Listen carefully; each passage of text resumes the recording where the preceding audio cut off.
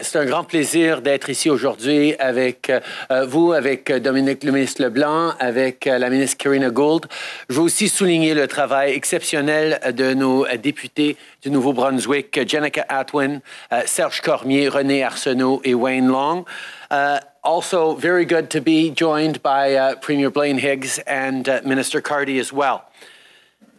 Parents and moms, especially across New Brunswick, know why affordable childcare matters. La coût de la vie augmente à bien des niveaux et on sait euh, qu'une grande portion des coûts pour euh, euh, les familles avec les jeunes enfants sont sur les garderies, les services de garde.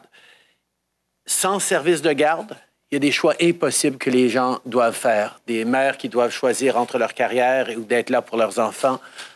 on doit s'assurer qu'on a des services de garde de qualité abordable euh, pour toutes les familles à travers le pays. Et c'est exactement ce sur quoi on est en train euh, de faire aujourd'hui pour changer les choses. I'm pleased to announce today that we have signed a deal with the government of New Brunswick. By this time next year, child care fees for families across New Brunswick will be cut in half. And within 10 years, the average price for child care in New Brunswick will be $10 a day. Families in places like Moncton and Fredericton will save around $7,500 a year on average.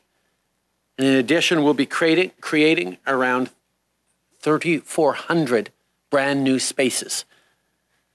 We're going to support workers in early childhood education with a wage grid, and we'll boost the number of trained educators as well. The bottom line is we're going to make life more affordable.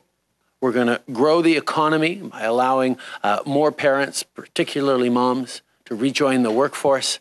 And we're going to give kids the best possible start as they begin their schooling. This is part of a commitment we made to grow the economy, to support Canadians. As of today, nine provinces and one territory have now signed on to early learning and childhood, uh, childhood education uh, with $10 a day childcare within 10 years.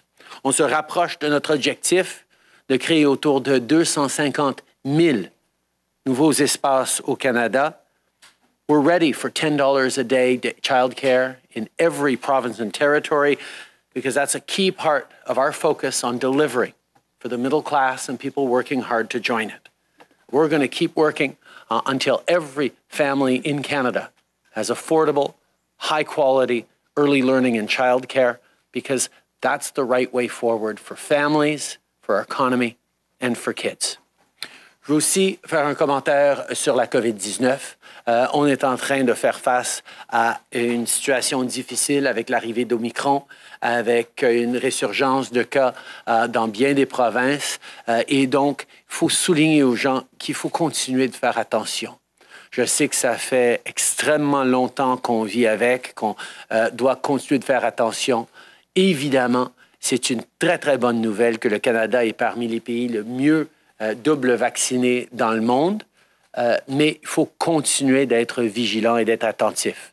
Uh, boosters are now there uh, for, uh, for people across the country, so please, when it's your turn, get your booster shot, get your third dose. Uh, it is going to make a difference in keeping us safe and keeping Canadians out of hospitals uh, into the coming year. It's also time to have our kids get vaccinated.